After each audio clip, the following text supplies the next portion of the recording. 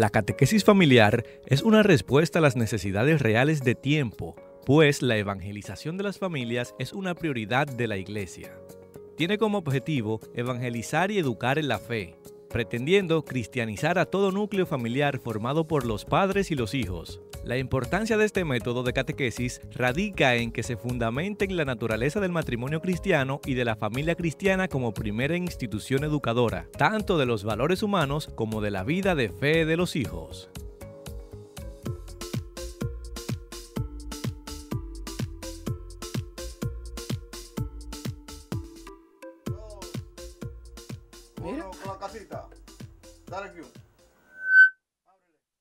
Vamos a darle la bienvenida al Padre Victoriano de la Cruz, quien viene pues a dar todas las informaciones y por supuesto a poner sobre la mesa esta herramienta y esta posibilidad tan importante para que las familias puedan encontrar una orientación y una integración y sobre todo esa, eh, eh, esa posibilidad de poder contar con desde la fe, desde la iglesia, pues plataformas que impulsen realmente a que la familia tenga recursos para funcionar mucho mejor. Como hablamos de tantos detalles estamos viendo en el escenario tanta violencia, tantas cosas que se originan en el seno familiar, yo creo que enhorabuena la catequesis familiar. Bienvenido, Padre. Muchas gracias. Gracias a ti, al Padre Manuel, por la invitación que, que me hacen y gracias también a todos los hermanos que nos siguen desde sus hogares y que siguen este programa Domingo Familiar. Así es. Eh, ya venían hablando los, los hermanos que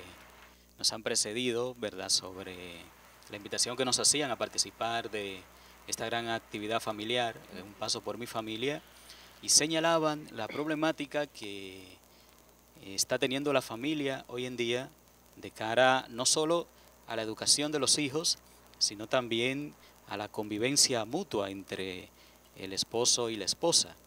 De manera que no solo se trata de un problema de educación eh, para con los hijos, sino también de un problema de convivencia entre los esposos. Y justamente esta ha sido una necesidad que la Iglesia eh, la ha venido observando, no solo ahora, desde siempre, porque la Iglesia siempre ha considerado a la familia como el órgano vital de la sociedad. Y de hecho, eh, como bien lo expresa el Concilio Vaticano II, de la familia depende en gran medida lo que es el individuo luego dentro de la sociedad. De manera que si tú desde en tu familia recibes buenos valores, entonces ya luego eh, a la sociedad tú le vas también a aportar eso. Pero si en tu familia eh, tú no recibes buenos valores, una educación, entonces ya luego tú tampoco podrás aportarle eso a la sociedad. Y por eso la iglesia desde la catequesis, que no es más que un instrumento que la iglesia pone en las manos, en este caso de las familias, para que sean los protagonistas, eh, los primeros educadores de la fe de sus hijos a que no se lo dejen a, los catequistas en, las parroquias, ni le dejen esta tarea a los profesores de religión en las escuelas, sino que el papá y la mamá sean los primeros responsables de la educación de sus hijos y que lo asuman como una tarea prioritaria, así como asumen la tarea de alimentarlos, como asumen la tarea de llevarlo al médico cuando se enferman o como asumen la tarea de llevarle a la escuela para que reciban una formación académica, pues que del mismo modo la familia se empodere de la formación cristiana de sus hijos. yo creo que es un elemento que viene muy a tiempo, muy como que a la orden, ¿verdad?, del día para poder eh, agilizar y motorizar, despertar en la familia, volver a ese encuentro y volver sobre todo a esa afinidad que puede tener desde la fe y desde, desde el seno de la iglesia, esa reformación, esa reestructuración de cara a lo que representa la Sagrada Familia. Partiendo de ahí, yo creo entonces que ustedes tendrían puntos focales que pudieran llevar y depositar para que la familia retome esas herramientas. ¿Cómo piensan ustedes lograr esta, eh, eh, esta posibilidad? Y más que todo eso, eh, ¿hacia dónde va a llegar? ¿En, qué lugares específicos tienen contemplado poder desarrollar todo toda esta oportunidad que tiene la familia de, formarse? Claro que sí. Mira, el, el, foco, o más bien la raíz, la, la fuente de todo esto, tiene que empezar en la familia. Pero eh, para poder llegar a las familias tenemos que utilizar los recursos, las herramientas que ya tenemos, de hecho, que son las parroquias. Entonces, eh, la idea es que en las parroquias, que es donde se reúne la familia a vivir su fe, donde va a alimentarse de la palabra, eh, donde va a celebrar también, que las parroquias le ofrezcan este recurso, estas herramientas a las familias que viven su fe en este pequeño eh, territorio de marcación eh, parroquial. Para que desde las parroquias, entonces las familias eh, puedan primero empaparse de este recurso y luego entonces llevarlo a sus hogares. es importante señalar en este sentido que no todas las familias, por ejemplo, tienen hijos o a lo mejor ya hay familias donde los hijos son adultos, ya se han marchado de casa y estas familias puedan preguntarse, bueno, esto no es para mí, porque ya yo no tengo la, obligación, la tarea de, educar a mis hijos, porque ya son adultos o ya se fueron de, de casa, pero esto no es así. Esta es una misión y una invitación que se le hace a todas las familias, porque si bien es cierto que tal vez ya tú cumpliste eh, con la misión de educar a tus hijos porque son adultos, pero eh, eh, ya luego tú te conviertes en abuelo. vienen los, nietos Efectivamente, exactamente. Y sobre todo el soporte que pueden representar ellos para ayudar a otras familias que están en el proceso. Claro que sí, claro que sí. Y en este caso, imagínate que tú ni tengas hijos, ni tengas nietos, pues a lo mejor puedes ayudar a otras familias también en esta tarea. Entonces, para ello, desde las parroquias eh, tiene que ofrecerse esta herramienta. De que nosotros los, los párrocos somos los primeros responsables de proporcionar a las familias estos recursos.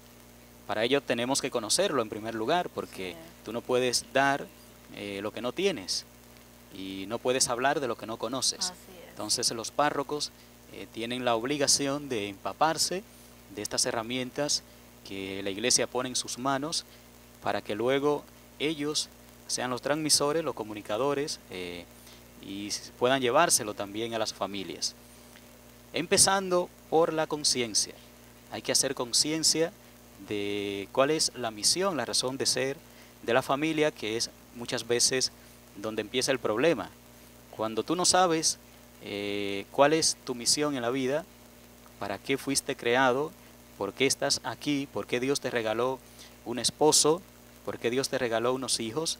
Cuando tú no tienes eso claro, entonces es muy difícil que tú puedas cumplir luego con la misión que Dios te ha encomendado. Entonces la primera tarea que tenemos los sacerdotes es crear conciencia en las familias de cuál es su naturaleza, de por qué Dios pensó en un hombre y en una mujer, para que uniendo sus vidas procrearan los hijos. Entonces, cuando la familia tenga plena conciencia de por qué Dios los diseñó, lo pensó, varón y mujer, para que uniéndose procrearan los hijos y se convirtieran en lo que llamamos una familia, cuando exista esta conciencia, entonces de ahí se partirá para hacer todo lo demás. Recordando, recordando siempre ¿verdad? cuál es la razón de ser de toda familia que es la de ser transmisora, comunicadora del amor. Y la iglesia en esto nos señala eh, cuál es la raíz de la familia, es decir, de dónde ha nacido la familia. La iglesia nos dice, la familia ha nacido del amor de tres personas, que es el Padre, el Hijo y el Espíritu Santo. Esa es la primera familia que existe. El Padre, el Hijo y el Espíritu Santo. Y es una comunión de amor. Y fruto precisamente de esa comunión de amor, Dios ha querido crear a la familia, no solamente al hombre, ni exclusivamente a la mujer, sino a ambos. Bueno, es un complemento que se da y yo creo que es muy importante que esos elementos puedan plasmarse porque sé que hay muchas familias que, bueno, se forman en contextos que a veces no son los más deseados y como uno no viene con el librito debajo del brazo, ni va a la universidad, ni a la escuela a aprender cómo ser padres y a cómo pues eh, entender el compromiso que tienen los padres frente a los hijos. Yo creo que es muy interesante y ojalá que de verdad esto pueda llegar al corazón de tanta gente, de tanta familia, porque definitivamente hay que hacer algo, hay que hacer algo por las familias y, creo que es una forma muy importante, muy interesante de cómo poder erradicar una serie de situaciones y sobre todo esta violencia intrafamiliar y todos los detalles que se están dando desde la fe, desde la iglesia, que tiene que jugar un papel tan determinante como el de verdaderamente ser esa luz al final del túnel para que las familias puedan encarrilarse y asumir su compromiso. Padre, un millón de gracias. Espero pues que podamos seguir teniendo detalles sobre esto y que, bueno, todo el que se sienta un padre comprometido, papá, mamá, pues que se acerque a su parroquia y que empiece a buscar la información necesaria para que puedan integrarse desde ya. Yo sé que vamos a salir ganando todos. Así que muchas gracias por venir y nosotros continuamos con más. No se mueva.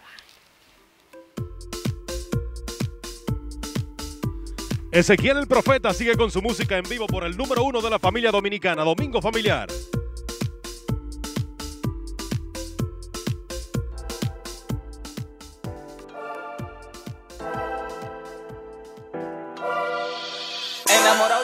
de Jesús, enamorado de Jesús, de Jesús, enamorado de Jesús, lo estoy yo, yo no sé tú. Enamorado de Jesús, de Jesús, enamorado de Jesús, de Jesús, enamorado de Jesús, lo estoy yo, yo. No sé tú.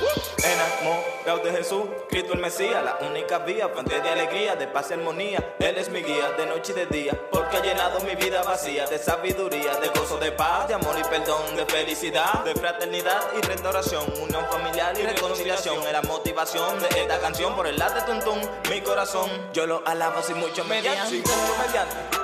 Antes estaba atrás y ahora estoy adelante. Ahora estoy adelante. Ahora estoy adelante. Ha respondido mis interrogantes. Por eso, Señor, solo a ti yo quiero cantar. Quiero cantar. Quiero cantar. Yo lo alabo sin mucho mediante, sin mucho mediante. Antes estaba atrás y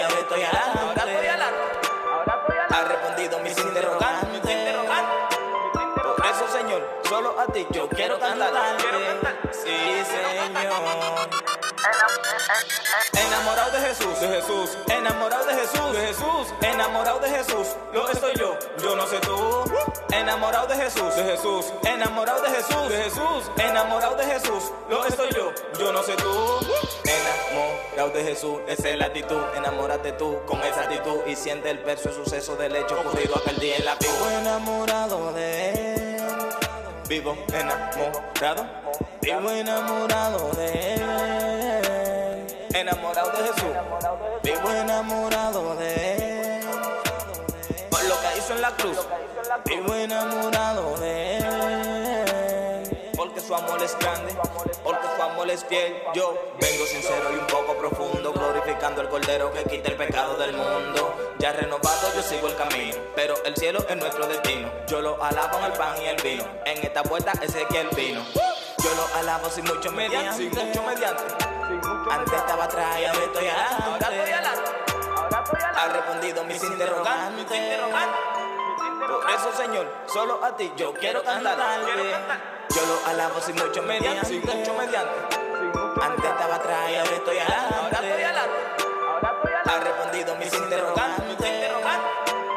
Por eso, Señor, solo a ti yo quiero cantar. Sí, Señor. Enamorado de Jesús, de Jesús, enamorado de Jesús, de Jesús, enamorado de Jesús, lo estoy yo, yo no sé tú. Enamorado de Jesús, de Jesús, enamorado de Jesús, de Jesús, enamorado de Jesús, lo estoy yo, yo no sé tú. ¿Y qué lo que? Ezequiel el profeta. Oye, tocayo, bajamos haciendo música para el reino. Renovado de C. Para que no te pase como Flor y a Ramona, tras la pausa estará con nosotros un abogado especialista en derechos del consumidor, Jesús Marmolejos. Haz contacto con nosotros en las redes sociales con el hashtag Domingo Familiar RD. No te muevas.